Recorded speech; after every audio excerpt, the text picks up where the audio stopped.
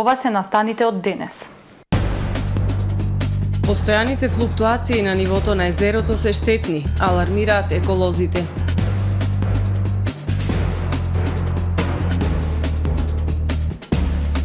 Ефтина тарифа на струјата преку ден ќе има од 1 декември.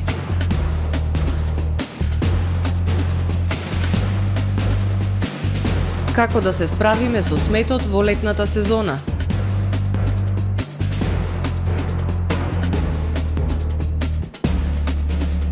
Завод и музеј Охрид ќе ги јакне капацитетите за управување со културното наследство во Охридскиот регион.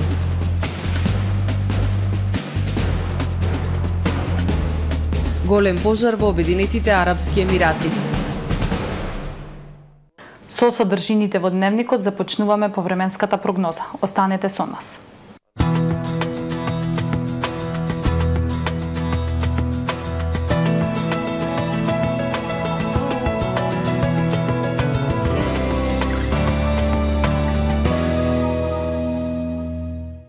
Денес во Охрид времето сончево и топло со утренски температури во благ пораст во текот на ноќта кон среда ќе биде ведро и свежо. Утре во северозападна, северна, североисточна и источна Европа умерено облачно и нестабилно време со дожд. Локално врнежи од дожд се очекуваат и на Балканот, во останатите делови од стариот континент, сончево и топло време. Во поголем дел од Балканскиот полуостров во среда умерено облачно и нестабилно со дожд и посвежо со дневни температури кои ќе бележат пат на крајниот југ и југозапад, сончево со локална облачност, максималните дневни температури од 19 до 32 степени. Во Македонија во среда сончево со локална облачност и потопло време. Попладне локално во северните, североисточните, источните делови развојна нестабилност, која ќе донесе дожд проследена со невреме, минималните температури од 10 до 20, максималните од 26 до 34, уве индексот со вредност 8. Во Охрид во среда претежно сончево со локална облачност и потопло со слаб североисточен ветер, минималната 13, дневната 28. Во четврток сончево и топло, а попладне нестабилност која може да донесе дожд, гармотевици и поројни врнежи. Дневната температура до 23. Во петок и сабота со свежи утра од 10 до 12 степени, времето во текот на денот од 26 до 28 степени.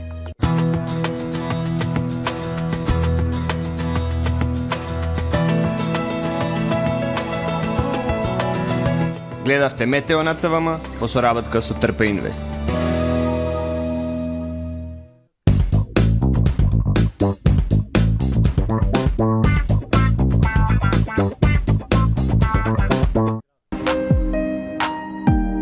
Ресторан Далга.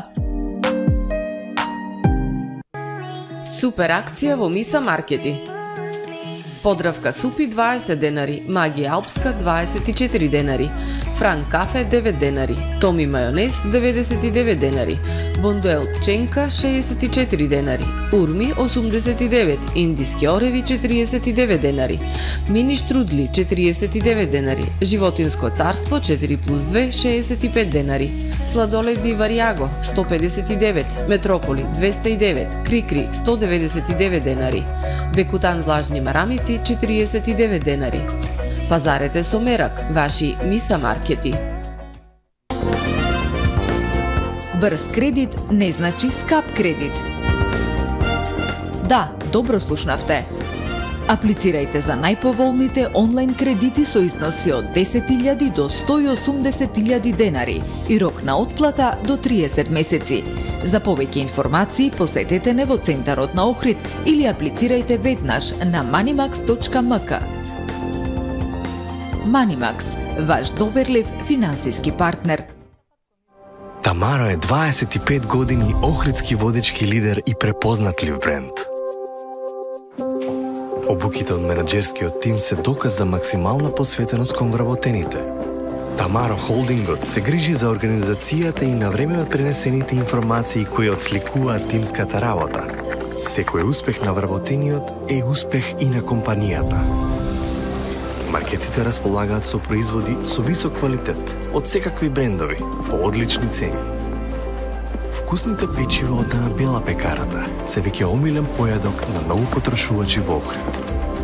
Анабела кујната услужува голем број на потрошувачи и компании,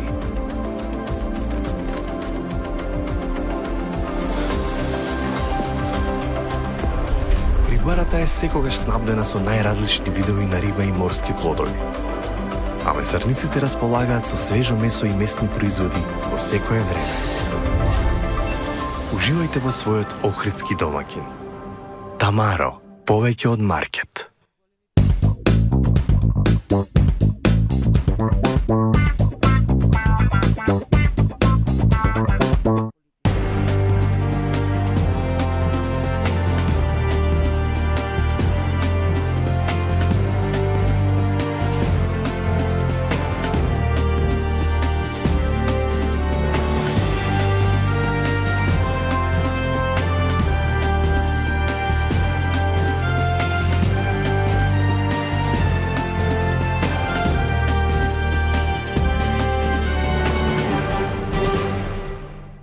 Добар ден. Прво издание на Дневникот на ТВМ.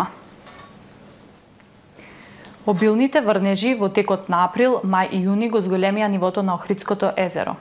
Денешната кота изнесува 693,61 метар надморска височина. На почетокот на март нивото на езерото беше пониско за цели 42 сантиметри, но постојаните флуктуации на нивото на Охридското езеро се штетни, алармираат еколозите. Обилните врнежи во текот на пролетните месеци го зголемија нивото на Охридското езеро. Денешната кота изнесува 693,61 метар надморска височина. На почетокот на март, нивото на езерото беше пониско за цели 42 сантиметри.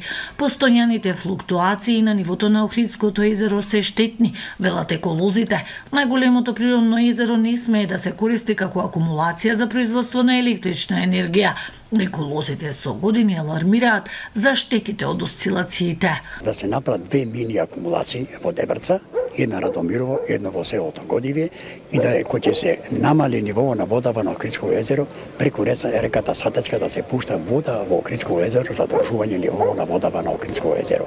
Мораме ние котата 693 60 80 да биде стабилна. Охридското езеро се смета за старо околу 3 милиони години. Флуктуацијата на нивото од неполно да до испразнето предизвикува драстични негативни промени врз ендемичниот растителен и животински свет. Ако се по помалу, тога значи се сочуваме со еден проблем, се ствара буча во Охридско езеро кој ќе се намали нивото на водава на Охридско езеро и сиот рибен фонд кој се наоѓа во нашиот дел, бега во албанскиот дел. Затоа што во албанскиот дел има 23 извори, а во македонскиот дел 17. Кој ќе соочи со таква буча во сохричката пастанка и сите други риби, се вознемируваат, брзо дишат, им треба повеќе кислород и затоа ги бркаме таму и затоа денес се соочуваме со повеќе риба во албанскиот дел од Охридско езеро. Изминативе години, еколозите често пати апелираа да му се одземе правото на Елем да управува со нивото на Охридското езеро. Ефтина тарифа на електричната енергија преку ден ќе има од 1 декември во периодот од 13 до 15 часот, а ќе има и линарно намалување на сметките за 5%, информираше денес првиот човек на регулаторна Марко Бислимовски ке се поставуваат нови така наречени паметни броила со можност за далечинско читање и интернет конекција, со што во целост ќе се одстранат сомнежите кај потрошувачите дали е направено отчитување или не. Трошокот за новите броила ќе пане на електродистрибуцијата. Од 1 декември се враќа ефтината тарифа во периодот од 13 до 15 часот. Тоа е максимум што можевме да го направиме и очекуваме во наредниот период да започне промената на броилата. Ефтината тарифа не ја воведуваме од било какви политички причини, ја, ја воведуваме заради сигналот на цената на електрична енергија на сите берзи во Европа, вклучувајќи и нашата. Цената на електрична енергија во овој период, 8 месеци наназад, е пониска, дури и пониска од цената на електрична енергија после 24 часот. Најголем дел од броилата во државата, негде 80% немаат далечинско отчитување во наредниот период, кога ќе во наредните година до две, ние инсистираме постоечките броила да се заменат сите со броила со можност за далечинско отчитување. Се разбира дека тие броила се нешто поскапи од колку постоечките и дополнително треба и интернет конекција за да може далечински да се отчитуваат, но тоа е незначителен трошок да вкупната цена кога ќе се анализира во однос на придобивката и на довербата која што ќе има граѓаните. Трошокот на новите броила ќе падне на електродистрибуција, кој што се разбира дека ќе го пријави во регулаторната комисија за енергетика при определувањето на цената, како што беше и од 2009 натака кога се променети сите броила во државата. А кај граѓаните ќе биде менувано, бидејќи веќе вкалкулирано во цената, без пар. Ке се направи проверка на најфреквентните локации во градов, каде недостигаат канти за ситен отпад и ке се постават, информираше градоначалникот Кирил Пецаков. Секојдневната појава на мини депони токму околу кантите за ситен отпад и токму за време на летната сезона само го потврдува фактот дека многу треба да се работи на подигање на јавната свест за одлагањето на отпадот, онаму каде што му е место. Со зголемување на бројот на туристи, како што Охрид навлегува подлабоко во туристичката сезона, се зголемува и количеството на смет. Уште од раните утрински часови, екипите на јавното предпријатие Охридски комуналици на терени не само на најфреквентните места низ Охрид. Ниската свест за зачувување на животната средина и кај охриѓани и кај туристите прави поставувањето на канти за ситен отпад само да го зголеми бројот на мини депониите, особено во лето. Верувајте во текот на летната на летниот период тоа е повеќе од невозможно затоа што ќе настанат мали депони на секаде. А, очигледно треба многу да работиме на таа култура за за фрлање на отпад буквално најмали години за да стигнеме до еден момент сето тоа да биде како што треба. Ке се направи ревизија на локациите и ке се постават дополнителни канти за отпад, кажа градоначалникот на оние критични точки или поточно на оние места каде има најголема фреквенција пред раскрсниците, после раскрсниците или автобуските постојки. Треба да има канти за отпад, а доколку нема, ќе бидат поставени, информираше првиот човек на градот. И во минатото локалната и комуналното предпријатие правеа обиди за спроведување кампањи за подигнување на свеста за јавната чистота. На голем број локации беа поставувани обрачи со најлонски кеси за депонирање на ситен смет, но за брзо време истите беа во целост уништени. Често пати комуналното предпријатие низ годините пробу, па, пробува на тој начин буквално поставува канти потек на на улиците за да може луѓето да депонираат својот отпад, меѓутоа културата кај нас очигледно на тоа ниво, за, на за една мала канта која што служи за ситни отпадоци настануваат депонии, се фрлаат кеси И не е само јавната чистота проблем за кој секоја летна сезона ќе пишуваме и зборуваме. Тука е уништувањето на јавните добра.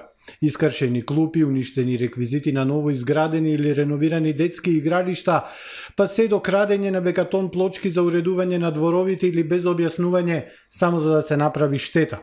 Многу како заедница треба да работиме за да го зачуваме оно што на сите ни припаѓа и од кое буквално сите треба да имаме бенефит. Викендов се одржа и Павело викендот. По седми пат – гласно го повикаа надлежните од локалните во Охрид и Струга и од централната власт конечно и неодложно да пристапат кон изградба на современа и безбедна велосипедска патега по стариот пат Охрид Струга. Викендов се одржа и Павело викенд на точак Охрид и Струга да видам. Годинава групата на бајкери порасна во армија од стотина велосипедисти од Македонија, Бугарија и Романија. Со срце ја возевме вело турата Охрид-Струга-Дожда и по седми пат гласно ги повикуваме надлежните од локалните и од централната власт, конечно и неодложно да пристапат кон изградба на современа и безбедна велосипедска патека по стариот пат Охрид Струга, велат од ИПА Охрид. Небезбедно е со велосипед да се вози покрај возила, камиони и автобуси на трасата по стариот пат каде досега за жал имало неколку жртви велосипедисти. И затоа надлеж надлежни, направете го она што од вас граѓаните го очекуваат – модерна велосипедска патека помеѓу двата краезерски града. Бенефитот на изградбата на велопатека Охрид Струга е општо добро за сите граѓани, угостители и туристички работници од Охрид Струга и Македонија. Велопатека Охрид Струга значително ќе зголеми туристичката понуда и ќе ги подигне Охрид и Струга повисоко на светската туристичка и веломапа, потенцираат од Интернационалната полициска асоциација Охрид. Отпочна реализацијата на проектот Јакнење на капацитетите за управување со културно наследство на Охридскиот регион обука за развој бази на податоци и ГИС платформа за недвижно културно наследство на Заводот и музеј Охрид. Охридскиот завод и музеј започна со реализација на проектот Јакнење на капацитетите за управување со културното наследство на Охридскиот регион, обука за развој на бази на податоци и ГИС платформа за недвижно културно наследство за завод и музеј Охрид. Проектот го реализира Националната установа Завод за заштита на спомениците на културата и музеј Охрид и е со вкупен износ од 55.000 американски долари. Проектот има за цел да ги надгради знаењата и способноста на стручните лица во заводот и музеј Охрид во однос на ги вештините, а со помош од меѓународни експерти и во соработка со експерти вклучени во развојот на ГИС платформа од наша и од албанска страна. Проектот опфаќа разни активности, како што се разгледување на постоечката документација, спроведување на теренска проверка на моменталната состојба на културното наследство врз основа на список на регистрирани локалитети на културно и археолошко наследство во Охридскиот регион, документирање со фотографии и GPS лоцирање, дигитализирање на документацијата со стандардизирана процедура за евиденција на културното наследство, која треба да се повоспостави во рамки на проектот, а која ќе треба да биде компатибилна со системите воспоставени во Охридскиот завод и музеј и со системот на Националниот електронски регистер и со европските стандарди. Резултатите од проектот и ГИС платформата ќе се представат до Комисијата за управување со природното и културно наследство на Охридскиот регион и заедничкиот комитет за управување со прекограничното светско наследство Охридско езеро. Предвидено е проектот да трае две години 2023 до 2024 година. Физички напад, пожар во автомобил, малолетнички повредени при пат од велосипед. Следува билтенот на СВР Охрид. На 26 јуни во 21 часот и 40 минути во СВР Охрид е пријавено дека на улицата Гоце Делче во Охрид и о од гостивар го нарушил јавниот трети мир и со метален предмет го нападнал лицето РМ 31 годишен од Поградец, Република Албанија. При тоа штетено е возило Голф, собственост на КК од Охрид. По целосно расчистување на настанот против напаѓачот ќе биде поднесена соодветна пријава. На 27 јуни во 1 часот и 30 минути по полноќ во СВР Охрид пријавено е дека на улицата 7 ноември во Охрид настанал пожар во патничко возило Фиат Пунто со охридски регистарски ознаки собственост на МО од Охрид. Повредени лица нема, а интервенирала територијалната противпожарна единица од Охрид. На 27 јуни во 0 часот и 45 минути по полнок на крстосницата помеѓу улиците Живко Чинго и Андреа Јовановски во село Велгошти, малолетничка од истото село, управувајќи велосипед, изгубила контрола и удрила во ограда, при што се здобила со телесни повреди констатирани во медицински центар Охрид. Во несреќата, малолетна сопатничка на велосипедот се здобила со тешки телесни повреди. Увид извршила увидна екипа од Савара Охрид. На 25 јуни од 18 до 24 часот на подрачјето на СВР Охрид преземени се засилени сообраќајни контроли. При тоа полициските службеници во Охрид затекнале и санкционирале еден мотоциклист кој управувал мотор под дејство на алкохол, како и тројца мотоциклисти кои не користеле заштитен шлем кацига, двајца во Охрид и еден во Кичево. Истовремено затекнати се 51 возач кои управувале моторни возила со брзина поголема од дозволената. Во Охрид 16, во Струга 18, Кичево 13 и во Дебар четворица. Истите се соодветно санкционирани. Во продолжение да ги погледнеме и вестите од светот. Во понеделникот рускиот председател Владимир Путин им се заблагодари на борците и командантите на платеничката група Вагнер кои се повлекоа за да избегнат крвопролевање но и вети дека ќе ги казни одговорните за бунтот. Рускиот председател Владимир Путин во своето обраќање до нацијата на тема запрен вооружен бунт во саботата уште вети дека одговорните за вооружениот бунт што ја фрли неговата земја во хаос ќе бидат изведени пред лицето на правдата. Путин рече дека ќе го почитува своето ватување дека ќе дозволи борците на Вагнер да бидат префрлени во Белорусија доколку сакаат, да подпишат договор со Министерството за одбрана или едноставно да се вратат кај своите семејства убиства.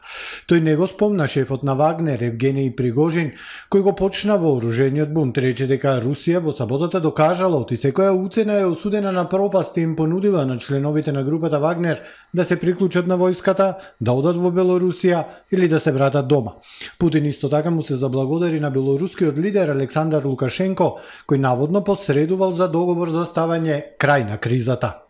Најмалку три лица загинаа, десетици куќи се оштетени во удар на торнадо во американските сојузни држави Индијана и Арканзас. Националната метеоролошка служба соопшти дека повеќе торнада биле пријавени во неделата попладне во центарот на Индијана, а службите за итни случаи потврдиле дека жртвите се од округот Мартин, Индијана, пренесува Ројтерс. Повредениот партнер на жртва бил пренесен во болница. Сите жртви живееле во дрвени куќарки кои биле уништени во налетот на торнадата. Пожар во петтиот по големина град на Обединетите Арапски Емирати избувна синоќа, бројни служби за итна помош и пожарникари веднаш пристигнаа на терен за да ја локализираат огнената стихија. Цивилната заштита на Ајман извести дека веднаш го евакуирале облакодерот и почнале да го гаснат. Пожарот бил ставен под контрола за неколку часа, а според полицијата нема жртви. Според BBC истиот облакодер изгорел во 2016 година. Многу жители среде ноќи се евакуирани во хотелите во Ајман. Неидентификуван млад турист кој го оштетил римскиот колосеум со врежување на своето и името на неговата свршеница на еден од зидовите на амфитеатарот Флавијан со клучеви, се соочува со парична казна од најмалку 15.000 евра и до 5 години затвор. Некои од присутните ја снимиле сцената која најверојатно се случила на 23 јуни, а видеото завршило на социјалните мрежи и ја алармирало полицијата, пренесува Анса. Многу сериозен и недостоинствен чин знак на необразование. Се надевам дека сторителот ќе биде идентификуван и санкциониран според нашите закони, изјави министерот за култура на Италија Дженаро Сандуљано. Тука е крајот на првото издание на Дневникот на ТВМ за денес. Повеќе информации на нашиот портал tvm.mk и на профилите на ТВМ на социјалните мрежи. Имајте пријатен ден.